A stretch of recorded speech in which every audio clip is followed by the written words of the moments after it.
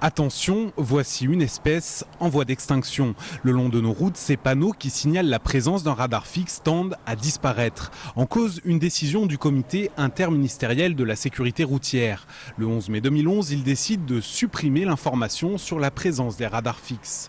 Si tous les panneaux des 27 radars du département n'ont pas encore été démontés, le processus a bel et bien commencé, au grand dam de la Fédération des motards des Bouches-du-Rhône. Le problème, c'est qu'en supprimant le- les panneaux radars, il y a un autre phénomène qui se crée, c'est que le euh, nombre d'usagers arrivant au niveau de, apercevant le radar au dernier moment freinent brutalement, et ce qui, euh, ce qui peut être dangereux. La suppression des panneaux radars n'a pas d'autre but que de remplir un petit peu plus les caisses de l'État. Contacté par nos soins, la préfecture n'a pas souhaité s'exprimer sur ce sujet. Les motards, eux, comptent bien se faire entendre. Ils appellent à un grand rassemblement demain 13h sur la route départementale 113 au lieu dit du relais des chasseurs.